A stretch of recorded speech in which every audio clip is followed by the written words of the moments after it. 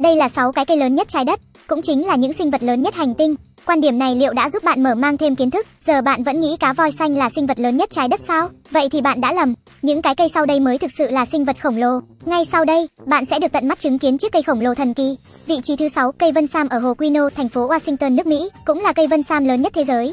Đường kính của nó khoảng hơn 6 mét, cao khoảng 53,34 mét, tương đương với tòa nhà hơn 20 tầng. Mặc dù cây vân sam này to lớn như vậy, nhưng không may mắn là cái cây này cũng sắp lìa đời. Trải qua hơn 1.000 năm mưa gió, người khổng lồ này đã bắt đầu khô héo và kiệt quệ. Vào năm 2016, một khúc cây lớn bị đứt lìa. Tôi cứ nghĩ loài cây thần này có thể sống được mấy nghìn năm, không ngờ mới hơn 1.000 năm, nó lại sắp từ biệt thế giới này.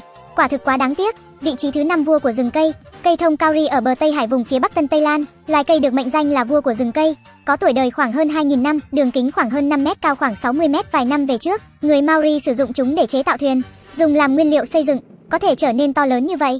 Tôi thấy chặt đi thực sự quá đáng tiếc. Nghe nói năm 2013, vùng này chịu một trận hạn hán vô cùng khắc nghiệt, khiến cho cây này suýt chết. Cuối cùng người dân quanh đó không ngừng tưới nước, mới có thể kéo nó thoát khỏi bàn tay của tử thần. Nghe nói lượng nước tiêu tốn đạt đến 10.000 lít. Hiện tại nó rất khỏe mạnh, hơn nữa còn đang không ngừng phát triển. Vị trí thứ tư cây Abon Deltun, cây bách ở vùng Oaxaca của Mexico, có tên gọi là Abon Deltun. Cây này không cao như các cây khổng lồ khác, nhưng nó là cây có đường kính lớn nhất thế giới, đường kính khoảng 14 mét, chu vi gần 60 mét, độ cao lên đến 42 mét. Cây này có tuổi đời khoảng 1.400 năm, nằm ở trung tâm thị trấn Santa Maria.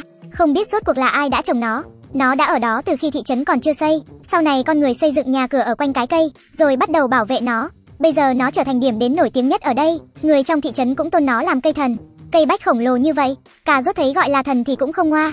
Xếp thứ ba chính là cây General Sherman, nằm ở công viên quốc gia Sequoia của California phía tây nước Mỹ. Cây củ tùng mang tên General Sherman là cây gỗ đơn lớn nhất thế giới, cũng là sinh vật lớn nhất trái đất, đường kính khoảng 7,62 m, cao 83,5 m, thể tích khoảng 1487 m khối. Nó cũng được coi là cây thế giới, có tuổi đời hơn 3000 năm, trải qua hơn 30 thế kỷ. Hơn 3000 năm trước nước ta ở triều đại nào?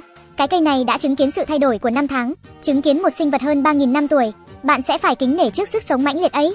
Hiện nay chúng trở thành sinh vật có nguy cơ bị tuyệt chủng, được Liên minh Bảo tồn Thiên nhiên Quốc tế liệt vào danh sách đỏ. Vị trí thứ hai là cây Menara, nằm ở rừng mưa nhiệt đới trên đảo Borneo ở Malaysia, là cây nhiệt đới được mệnh danh là Menara. Sau khi được phát hiện, nhân viên nghiên cứu ước tính độ cao của cây có thể hơn 100 mét, tổng trọng lượng khoảng 81,5 tấn, còn chưa bao gồm rễ cây, tuổi đời chưa xác định được.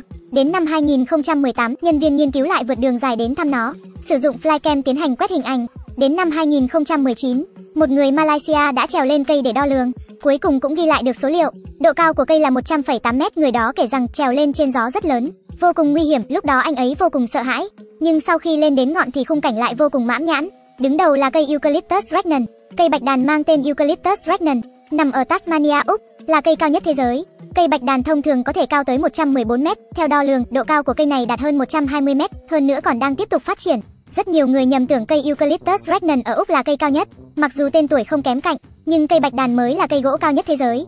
Trên thân và cành cây đều được bao bọc bởi lớp vỏ cây sần sùi, còn quả của nó có hình cái đĩa đỉnh tròn, bởi vì cây bạch đàn thông thường được dùng để làm bột giấy và dầu bạch đàn, nên rất dễ bị khai thác quá mức, nhưng may mà luật pháp bảo vệ môi trường ở đây quy định, chặt phá cây bạch đàn trên 85 mét là phạm pháp. Như vậy chúng ta mới có thể nhìn thấy hình ảnh của loài cây thần này, nhiều loài cây khổng lồ như vậy có đủ để gây chấn động đến bạn không?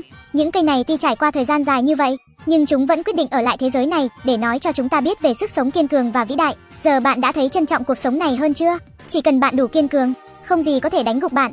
Vì vậy hãy khiến mình mạnh mẽ hơn đi.